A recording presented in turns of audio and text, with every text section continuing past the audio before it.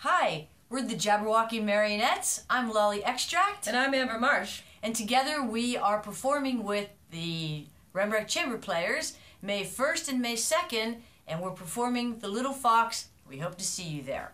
So, Jabberwocky Marionettes is a Chicago based company. We build puppets and perform puppets and collaborate with theaters and many, many other museums. So, some of the places that we've performed at have been the Lyric Opera, the Field Museum, the Shedd Aquarium, the Chicago Public Libraries, and we said the Field Museum. now, The Little Fox is based on a book written by Noel Langley, who also wrote the screenplay to The Wizard of Oz, called The Rift in the Lute. The Little Fox has a narration much like Peter and the Wolf, and we're very excited to be collaborating with Frank Babbitt as our narrator for the story of the Little Fox, which we hope we'll see you at. Now we'd like to talk to you a little bit about the puppets that we created for this show.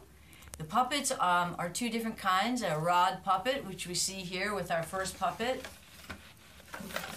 This is the mother puppet, or the mother fox, the vixen.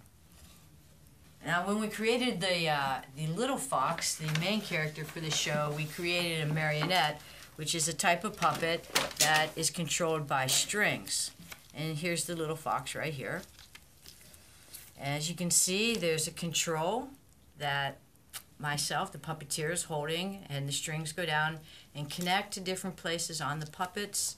So this is how I make the puppet make little movements and come to life.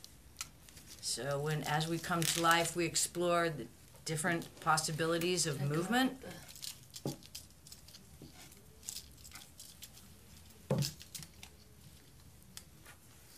Right. Oh, we're getting to know the little fox as we play with it and develop its its control. And one of its favorite things it likes to do is read the story about the little fox in The Rift in the Lute, which I highly recommend this book. This is very, very great. This is a great book. It takes place in ancient China and um, has lots of fun things in it.